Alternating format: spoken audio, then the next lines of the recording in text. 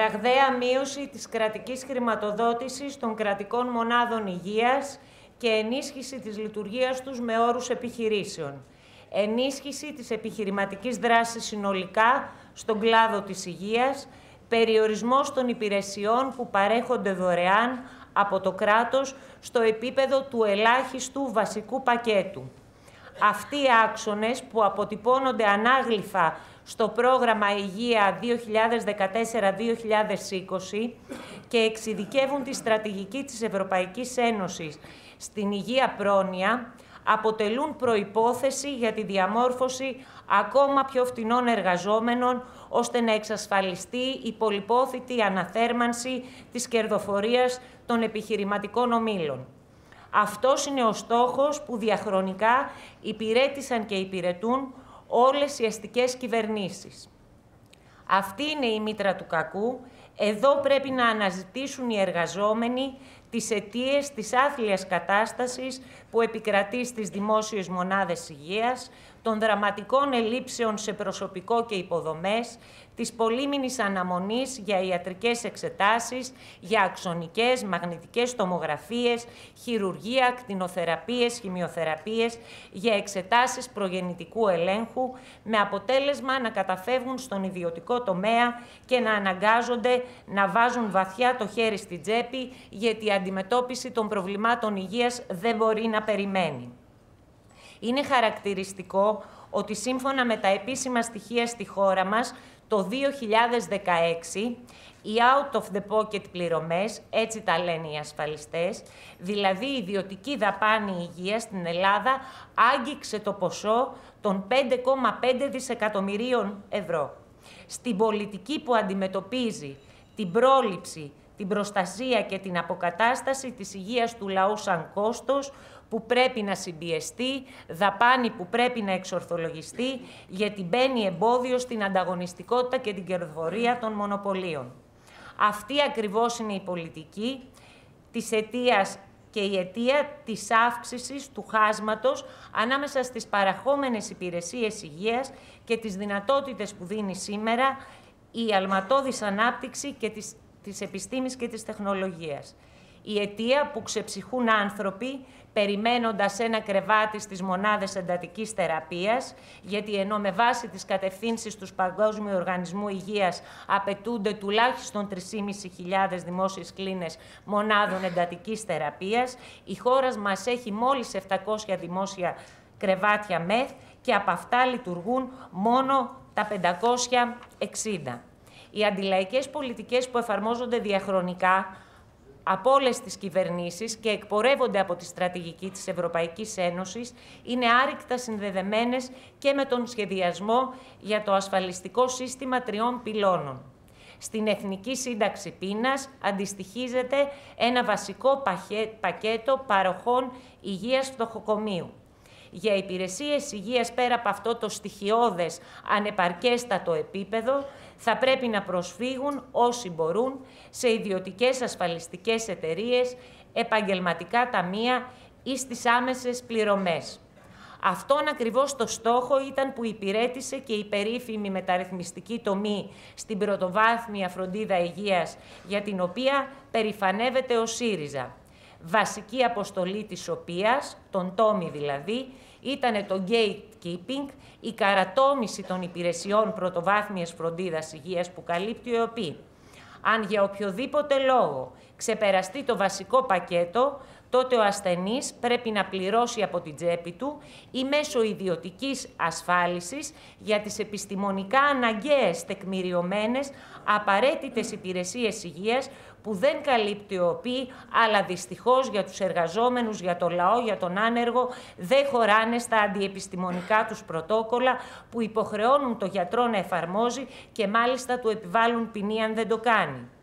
Αυτό το στόχο υπηρετούν και τα περίφημα DRG, δηλαδή το σύστημα κοστολόγησης ομοιογενών διαγνωστικών κατηγοριών που θεσμοθέτησε η κυβέρνηση του ΣΥΡΙΖΑ, εφαρμόζεται ήδη πιλωτικά σε 18 νοσοκομεία της χώρας και θα επεκταθεί σε όλα τα νοσοκομεία μέχρι το 2021.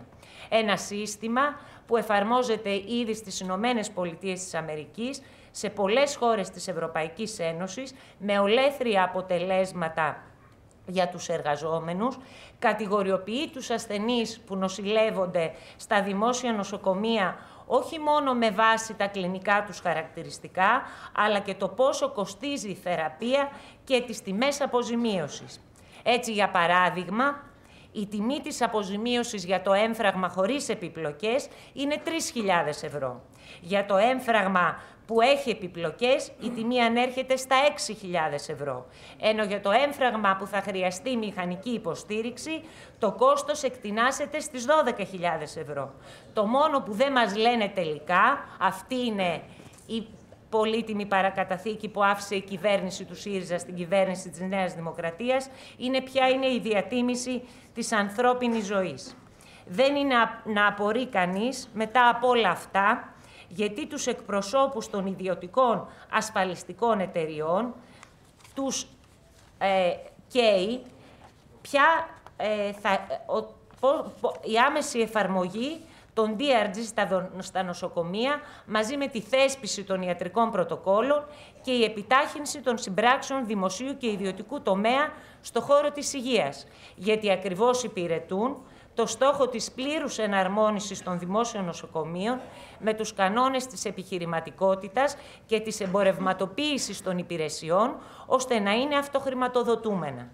Έτσι, ο κρατικός προϋπολογισμός ελαφρύνεται από το βάρος της χρηματοδότησης των δημόσιων μονάδων υγείας για να διοχετεύεται ζεστό κρατικό χρήμα στα μονοπόλια.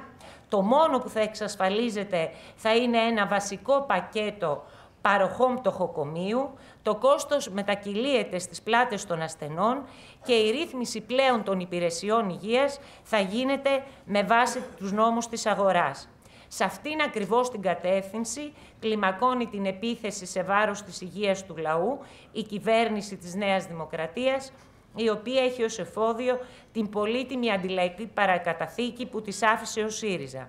Αυτό άλλωστε αποδεικνύεται και από τις τροχιοδεικτικές βολές της ηγεσίας του Πανελλήνιου Ιατρικού Συλλόγου, που πρόσκειται στη Νέα Δημοκρατία, και τις προτάσεις της για τη μετατροπή των δημόσιων νοσοκομείων σε νομικά πρόσωπα ιδιωτικού δικαίου μη κερδοσκοπικού χαρακτήρα και τη συνεργασία τους με ιδιωτικές ασφαλιστικές εταιρείες. Προτάσεις φυσικά που δεν είναι τίποτα άλλο παρά αντιγραφή του κυβερνητικού προγράμματος για τη δημόσια υγεία.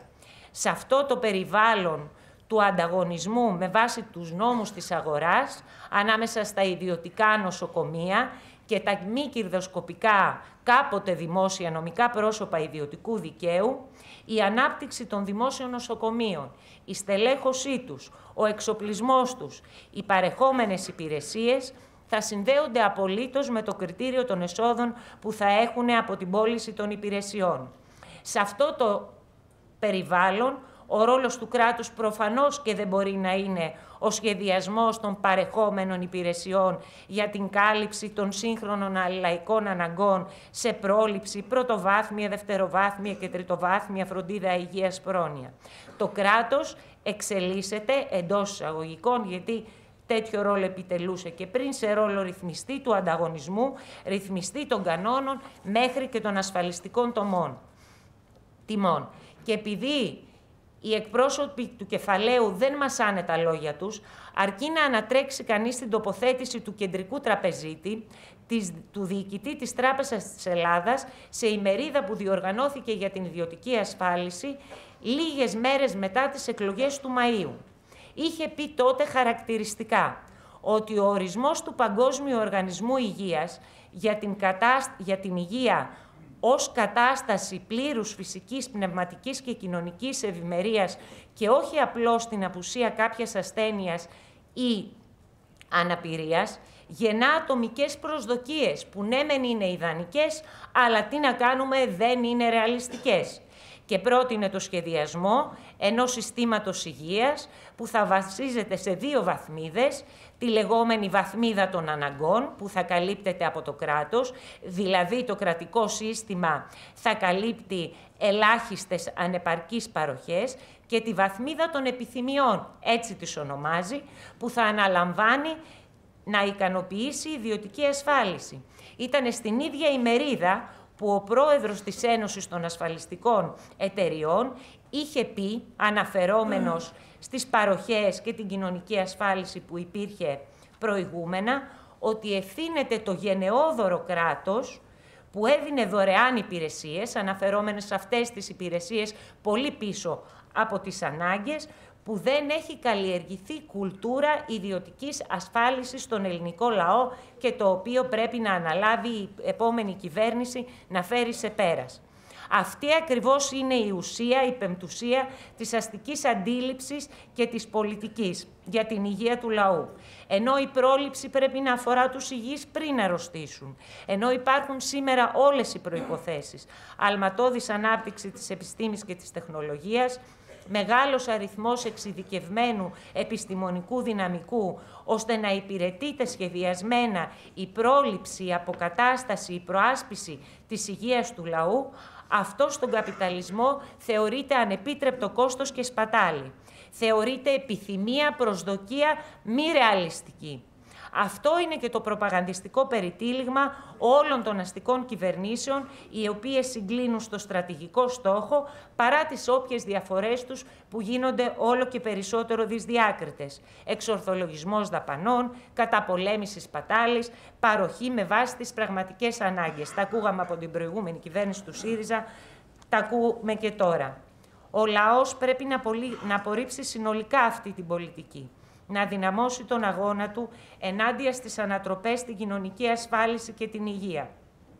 Να διεκδικήσει ένα αποκλειστικά κρατικό σύστημα υγείας πρόνοιας, καθολικά, σύγχρονο και απολύτως δωρεάν. Ένα σύστημα υγείας πρόνοιας χωρίς καμία επιχειρηματική δράση που οι υπηρεσίες του θα αποτελούν στην πράξη κατοχυρωμένο κοινωνικό αγαθό και όχι όπως σήμερα ακριβοπληρωμένο εμπόρευμα, με πλήρη χρηματοδότηση των δημόσιων μονάδων υγείας, με αντίστοιχη αύξηση των κονδυλίων από τον κρατικό προϋπολογισμό με φορολόγηση του κεφαλαίου, με κατάργηση των εισφορών των εργαζομένων στον κλάδο της υγείας και των, των ασφαλιστικών ταμείων, όπου θα παρέχονται από το κράτος όλες οι εξετάσεις, θεραπείες, υγειονομικό υλικό, φάρμακα, εμβόλια, χωρίς πληρωμές, συμμετοχές, χωρίς πλαφών και περικοπές, σύμφωνα με τις ανάγκες και με αποκλειστικά επιστημονικά κριτήρια.